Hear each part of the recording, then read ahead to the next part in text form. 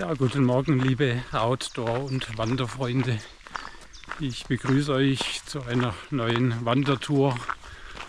Ich bin heute mal wieder unterwegs in den Bergen, genauer gesagt im Karwendel. Bin jetzt gerade im oberen Isartal unterwegs, habe in Wallgau meine Tour gestartet heute Morgen und bin jetzt hier unterwegs Richtung Vorderes und von Vorderes will ich dann später hochwandern zur Tölzer Hütte. Je nachdem, wie das Wetter mitmacht, mache ich vielleicht noch einen Abstecher zum Schafreuter, dem Gipfel nahe der Tölzer Hütte. Aber jetzt schaue ich mal, wie ich vorwärts komme. Wird bestimmt auf jeden Fall wieder eine schöne Wandertour. Morgen geht es dann noch weiter und übermorgen geht es dann wieder von Vorderes zurück nach Wallgau. Ich hoffe, das Wetter spielt einigermaßen mit. Heute Morgen war es schon ziemlich bedeckt und ich habe auch was gehört von Sahara-Staub. Also hoffen wir mal, dass es wenigstens einigermaßen so bleibt wie jetzt, weil jetzt kommt zumindest etwas die Sonne raus und es hat sogar ein paar blaue ja, Himmelsfetzen also von dem her, ja, warten wir es ab, was sich tut, wettermäßig. Dann viel Spaß beim Zuschauen, würde mich freuen, wenn ihr mich wieder begleitet auf meiner Tour. Ich melde mich später wieder. Bis nachher.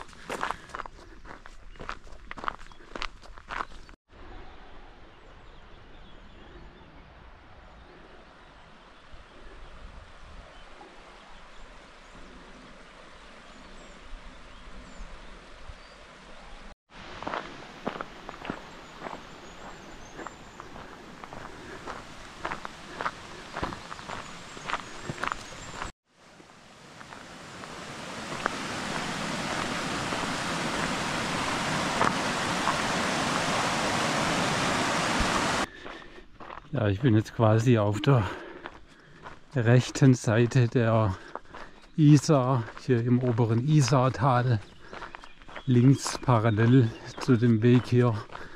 Das ist übrigens der eigentliche Radweg. Auf jeden Fall links auf der anderen Seite von der Isar. Da verläuft die Mautstraße zwischen Wallgau und Vorderes da also auch ganz schöne ja, Parkmöglichkeiten, wo man dann ans Ufer von der Isar rankommt. Aber ich wollte jetzt heute mal hier testen, wie das hier auf dem Radweg bzw. Wanderweg ist. Ob man da auch das ein oder andere Mal an die Isar runterkommt. Das hat auch vorhin kurzzeitig mal geklappt, aber dann war ich in so einem eingezäunte Bereich und dann kam auch gleich schon einer mit seinem Hund und dann bin ich doch lieber wieder umgedreht und auf den eigentlichen Radweg zurückgekehrt. Also man muss schon ein bisschen aufpassen, wo man läuft. Kann natürlich sein, es gibt irgendwo so einen geheimen Wanderpfad am Ufer entlang, aber den habe ich leider noch nicht entdeckt.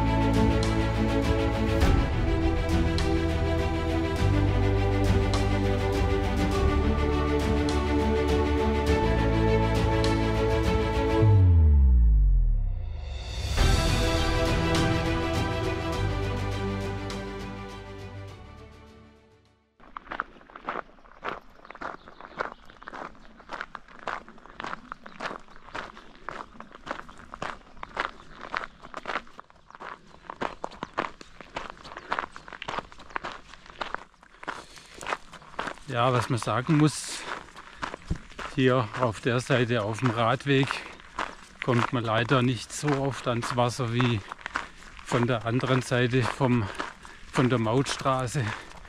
Das ist ein kleiner negativer Punkt. Dafür sind hier natürlich keine Autos unterwegs. Ja, aber ich habe jetzt etwa zwei Drittel absolviert von der Strecke bis nach Vorderis sind etwa 12 bis 13 Kilometer der Radweg von Wallgau nach Vorderis. Und dann kurz vor Vorderis laufe ich dann über so ein ausgetrocknetes Flussbett und dann geht es irgendwann auf der anderen Seite dann in die eigentliche Bergtour über und dann eben hoch zur Tölzer Hütte. Bin gespannt, wie sich das Wetter noch entwickelt. Könnte man vorstellen, dass es gegen Abend auch noch gewittrig werden könnte. Aber warten wir es ab. Jetzt ist gerade auf jeden Fall wieder schön schwül, sonnig. ja, schon ein klein wenig wie in British Columbia.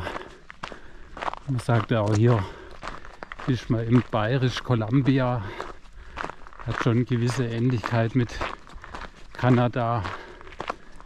Ich war ja 2022 dort in British Columbia und so die ein oder andere Ecke hat schon gewisse Ähnlichkeiten. Das Einzige, was hier halt ausbleibt, sind halt die Bären, aber das brauche ich jetzt auch nicht unbedingt ein um mich rum.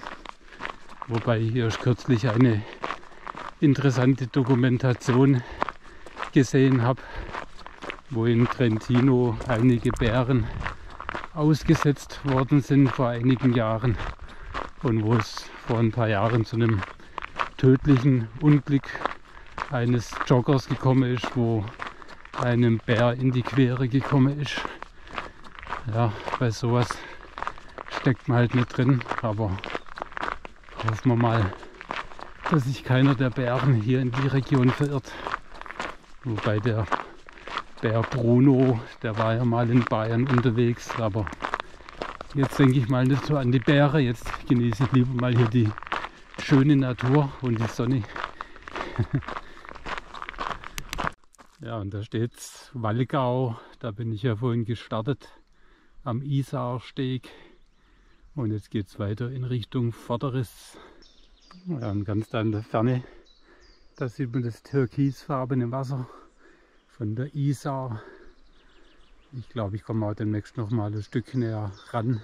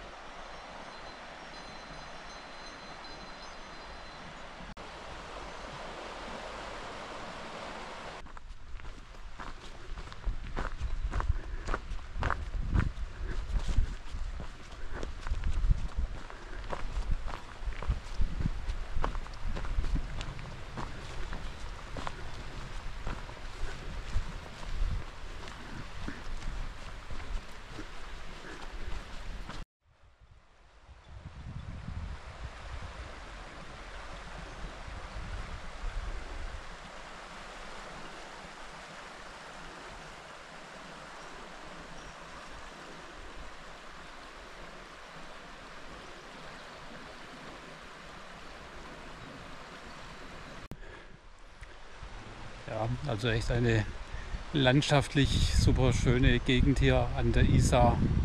Jetzt bin ich endlich auch mal wieder ein bisschen näher dran am Fluss. Richtig schön, wie das hier vorbeirauscht. Schön türkisgrün verfärbt. Das Glück habe, dass noch ein bisschen Sonne rauskommen ist.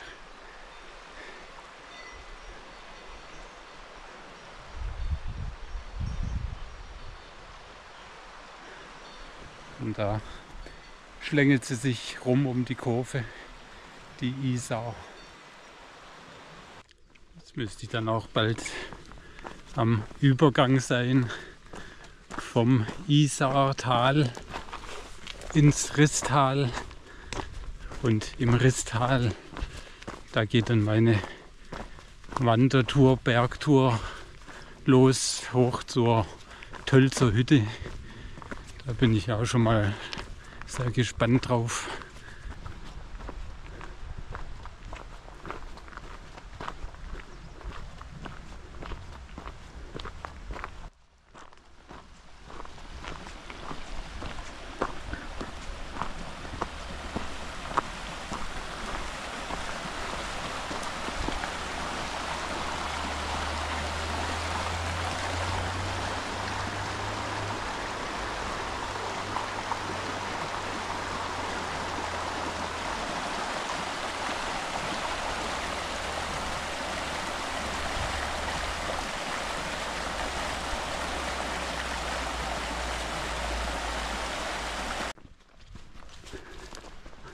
Ja, ist jetzt doch einiges an Wasser im Rissbach.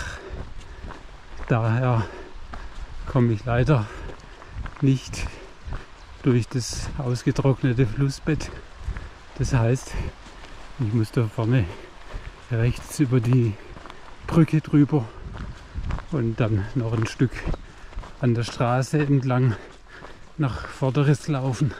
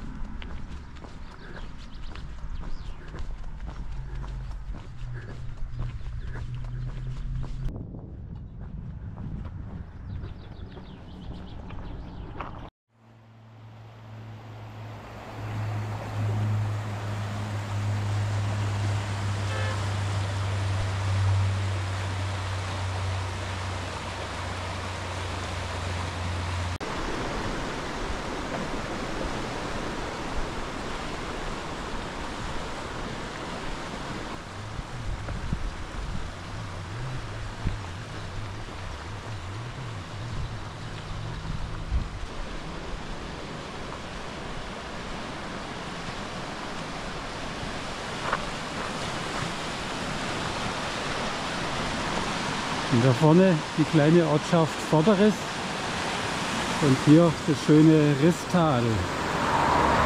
Und ich wollte eigentlich da drüben irgendwo die Böschung runter und über das Flussbett drüber auf die andere Seite. Aber bei dem viele Wasser heute und der Strömung ging das leider nicht. Sonst ist im Sommer hier schon alles ziemlich ausgetrocknet oder auf jeden Fall sehr wenig Wasser drin.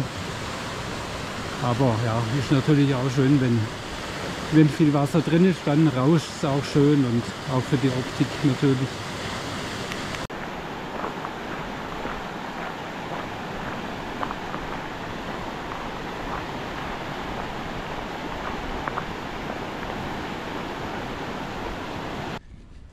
So, jetzt bin ich gleich am Ende der Mautstrecke.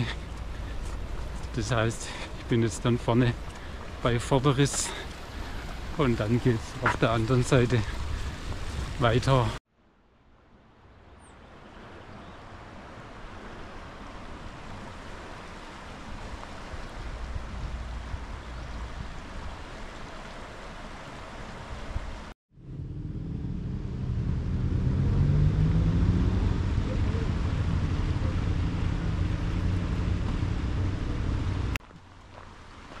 Mal, dass ich hier zu Fuß drüber laufe. Auch mal interessant. Gucken wir mal noch kurz hier rüber.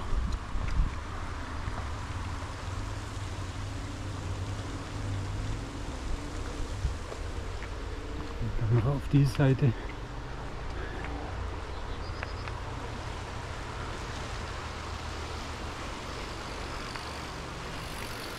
Dann würde ich sagen, willkommen in Vorderes.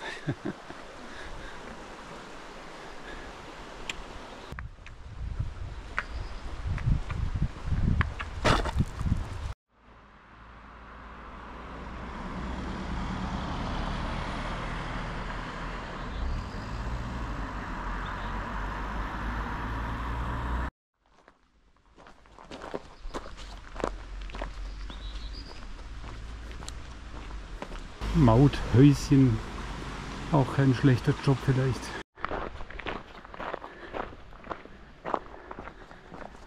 Ja, jetzt laufe ich hier ein Stück auf der Straße entlang, neben der Straße entlang. Normalerweise wäre ich jetzt da rechts ein Stück auf dem Flussbett entlang gelaufen. Aber ging ja jetzt leider nicht aufgrund des vielen Wassers. Aber es ist jetzt auch nicht so weit und irgendwann geht dann der Wanderweg links hoch.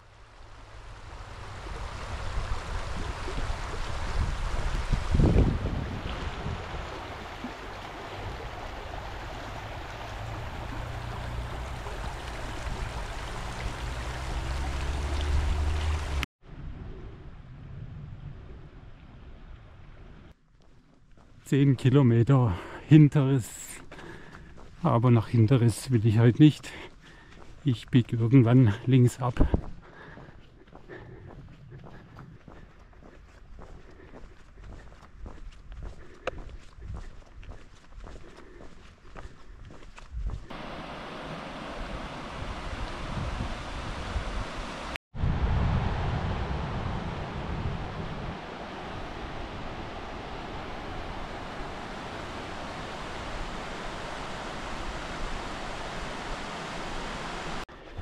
So, jetzt bin ich weg von der Straße. Jetzt bin ich wieder auf dem richtigen Wanderweg. Und jetzt geht es dann so nach und nach bergauf. Und dann eben später zum Schafreuter und zum Abschluss zur Tölzer Hütte.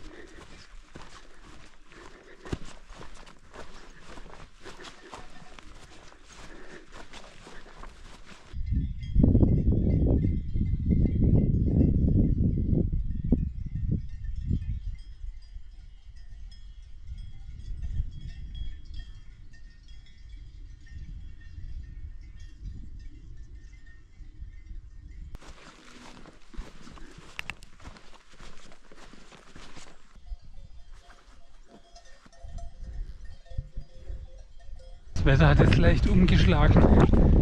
Es ist doch etwas windiger und regnerisch. Aber ich habe jetzt nur noch eine Stunde etwa bis zur Tölzer Hütte. Bei dem Regen lasse ich mal den Gipfel Schafreuter aus. Ich denke, an der Tölzer Hütte gibt es genug schöne Aussicht.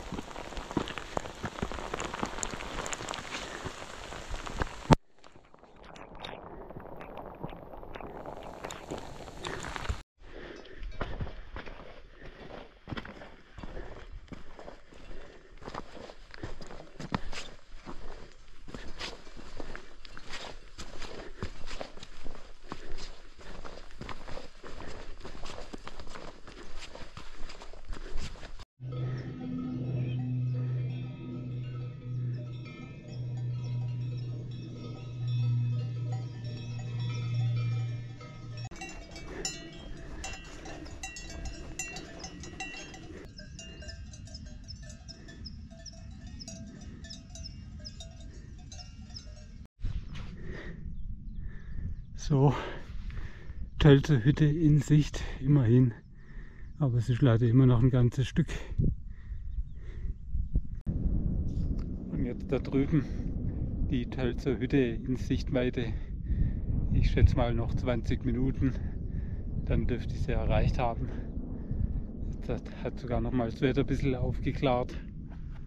Um mich herum ist jetzt Sonnenschein und noch ein paar Wolkenfetzen aber eigentlich jetzt wieder ganz ordentlich.